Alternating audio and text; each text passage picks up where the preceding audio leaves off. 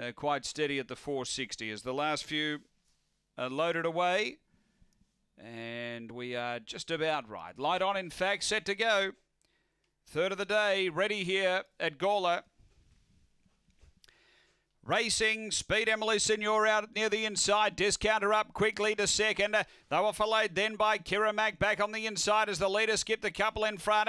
Next is Dream Ilalingi, then End of Innocence and Aston Emilio. Leader is Emily Senor by two and a half to Discounter. Uh, then came Kira Mac, but on the turn, Emily Senor straight and clear of Discounter. And it's Judy Hurley again. Emily Senor first, Discounter second. Third, Aston Emilio, then Kira Mac. Next end of Innocence and Dream Ilalingi is back at the tail end.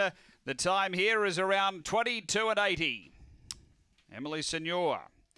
Early double for Judy Hurley. Uh, he flew the lids. Had the lead pretty soon after box rise and away he went. Number one, Emily Senor.